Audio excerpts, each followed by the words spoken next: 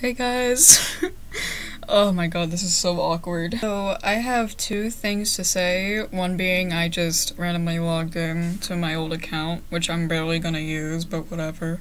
Uh, I came out as non-binary, trans, whatever, because of the hair, you know. So, uh, please use they, them, and he, him pronouns for me, thank you. I also have a new channel. I just want to inform people, even though I've commented on my new channel on my discussion. Nobody seemed to look. Unless they did, then good jobs to you. Uh, cheers to you, actually. Yes, I know it's four in the morning, but like, yeah, that's about it, pretty much. so, uh, Bye.